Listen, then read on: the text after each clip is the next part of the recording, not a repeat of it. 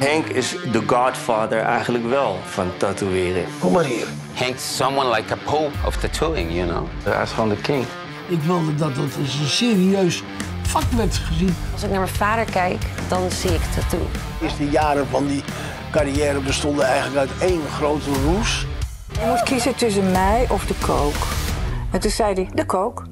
Daar word je in geboren. Dat weet je niet anders totdat je een schoonfamilie krijgt en denkt, huh, het is hier saai. Het is net anale seks, je moet gewoon ontspannen.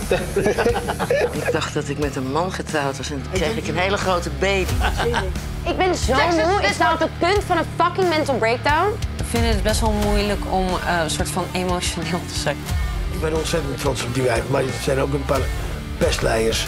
Ik ben 71. Dat is een soort, ja, dat eeuwige boef die in hem zit. I wasted a lot of good time and having good times. What the fuck is de legacy? Ze mogen het uitzoeken naar mij.